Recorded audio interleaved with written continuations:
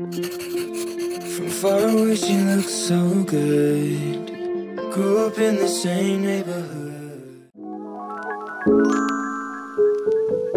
De tudo, a inspiração. Cada um tem sua vibe e aesthetic que combina mais, só que isso é algo que vem naturalmente pra você. Se você tentar forçar algo muito específico ou uma cor muito específica, você vai acabar se sentindo um pouco limitada. Procure no Pinterest ideias diferentes. Eu tenho um board separado entre fotos de fora de casa e fotos pra dentro de casa, porque sabe quando você começa a procurar inspiração no Pinterest e só aparece foto na praia, fotos fora de casa ou selfie. E às vezes você tá em casa e quer tirar uma foto, mas não quer tirar uma selfie, não sabe muito o que fazer. Especialmente do jeito que eu gosto de separar o meu feed, que eu já vou mostrar pra vocês. Eu gosto de separar mais específico ainda do que isso. Dentro do board, por exemplo, de fotos de casa, eu tenho categoria pra ideias de selfie, ideias de fotos de perto, ideias de foto de longe e também fotos de dão, que são fotos aleatórias que você pode recriar e colocar no seu Instagram. Mas um detalhe sobre inspiração, que vocês têm que lembrar que inspiração não é cópia. Veja que você gostou da foto e torne ela sua. E eu nem digo isso por copiar e essas coisas assim, mas se você tentar sempre copiar exatamente a foto, você vai se desapontar, porque você vai gostar da foto por um jeito específico que ela é, e quando você vai recriar com você, que tem o corpo diferente, cabelo diferente, o seu cenário é diferente, você vai acabar ficando desapontado.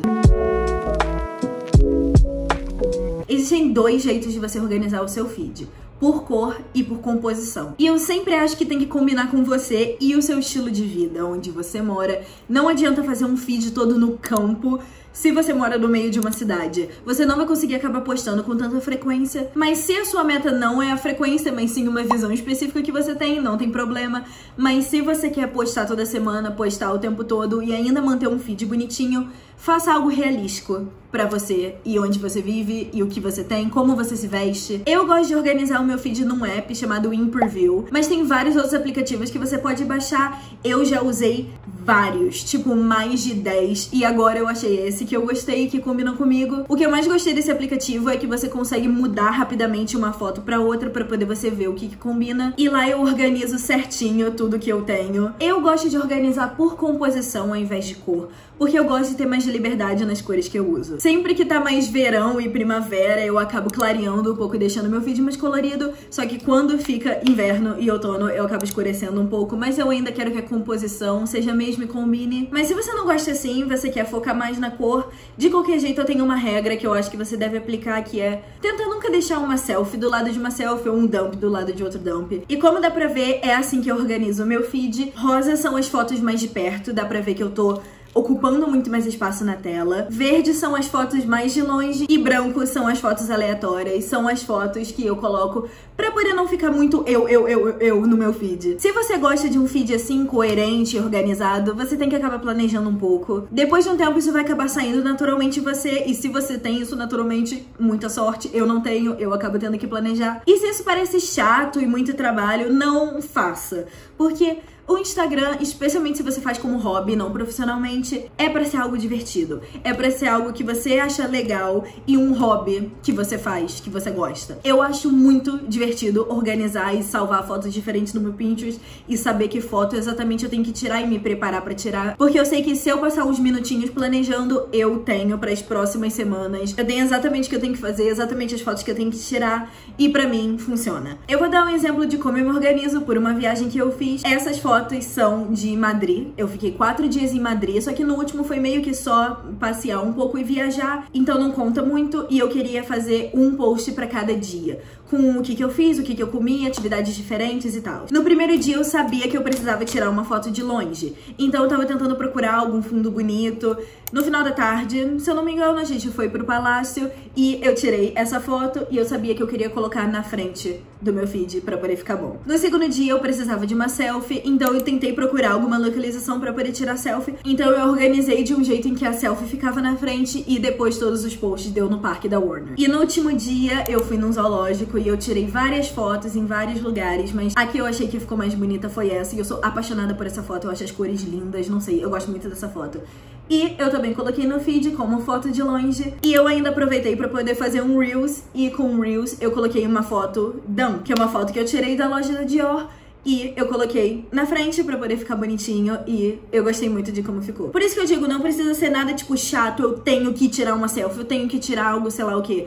Você acaba naturalmente tirando fotos diferentes e lembra de colocar a foto que você quer na frente. Porque você pode gostar muito de uma foto, mas não combinar naquele momento, espera um pouco pra postar. Mas se você acha que não vai combinar nem um pouco, posta no carrossel, bota como a segunda foto, as pessoas vão ver ainda e vão curtir a foto. Tem um aplicativo chamado Lens Buddy em que você só apoia o seu celular e ele fica tirando várias fotos uma atrás da outra. Isso é muito bom para você não ficar se preocupando com o cronômetro ou se você não tem outra pessoa para tirar foto sua. Eu também sempre levo essa minha capinha para todos os lugares porque ela cola nas paredes, normalmente lugares lisos, tipo vidros e espelhos. Se você tiver uma amiga ou outra pessoa para tirar foto sua, o que eu sempre recomendo é mostrar a sua foto de inspiração, se você tiver uma, e tirar foto da pessoa no local que você quer porque depois a pessoa só vê a foto e substitui por você. O que nem todo mundo tem, mas eu 100% recomendo se você conseguir uma, é uma câmera digital. Todas as fotos ficam absolutamente incríveis e eu acho que se você conseguir uma câmera digital um pouco mais antiga, tipo 2008 para 2011, é o ideal, porque as fotos parece que fica com um filtro nelas e ficam muito bonitas. Você provavelmente já ouviu isso antes, mas treine suas poses em casa. Normalmente as pessoas falam para treinar no espelho, mas você sabe muito bem que quando você olha no espelho você tá de um jeito e quando vai tirar uma foto tá de outro. Posar para foto é igual qualquer outra habilidade nova. Quanto mais você treina e analisa o que você fez de certo e errado, mais você aprende. Tire a pressão de tirar a foto perfeita. Não vai ser a primeira que vai sair boa, mas uma vai. Eu amo editar foto. As minhas amigas já sabem disso também e eu acabo editando as fotos das outras pessoas. Para vocês terem uma noção, essa foto aqui não existe.